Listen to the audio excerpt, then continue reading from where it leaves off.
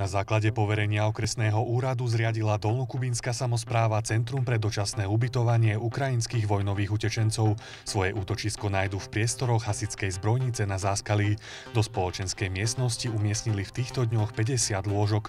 Na rozdiel od iných miest, tak Dolný Kubín nemusel na tieto účely rezervovať jednu z telocviční základných škôl. Mesto zakúpilo 50 madracov, tieto by mali byť refundované z okresného úradu a od dobrovoľníkov sme dostali postelné prádlo, prikryvky, pankúše, obliečky.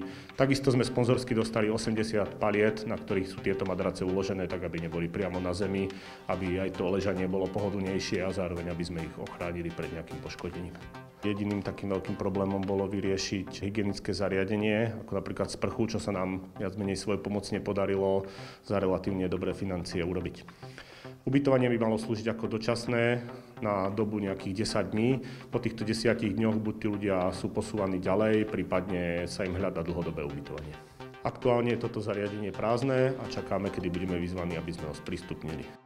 Dolnokubínskom okrese bolo podobné stredisko vytvorené aj na Bzinách či v Chlebniciach. Podľa nariadenia by mal mať každý okres na účely dočasného ubytovania vojnových utečencov z Ukrajiny vytvorených 50 lôžok.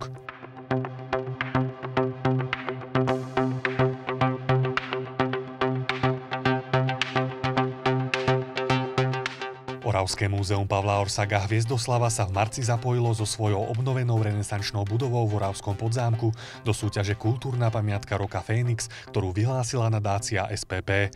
Renesančná budova sa radí medzi najstaršie stavby v obci a jej najstaršou súčasťou je miestnosť v prízemí, kde sa zachovali prvky renesancie. Písomné správy o objekte pochádzajú už z rokov 1576 a 1583. Výstavba renesančnej budovy na základe písomných prameňov a analogických tvarov staroslovných detailov je spojená s osobou Palatína Juraja Turza, ktorý realizoval zásadné a významné práce v areáli Oravského hradu. Podporte nás vašim hlasom.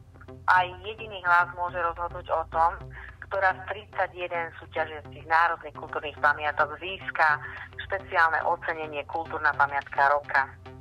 Hlasovanie už začalo, ale bude končiť 18.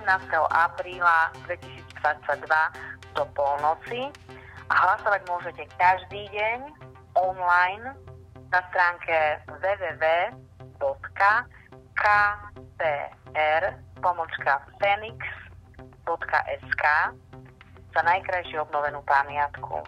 Súťažiaci môžu hlasovať minimálne jedenkrát denne z jednej e-mailovej adresy.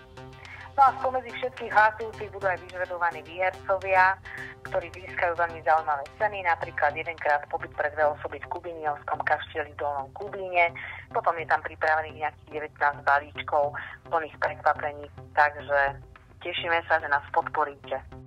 Verejné online hlasovanie je súčasťou 15. ročníka súťaže Kultúrna pamiatka roka Fénix, ktorej vyhlasovateľom je Ministerstvo kultúry Slovenskej republiky. Generálnym partnerom projektu je nadácia SPP.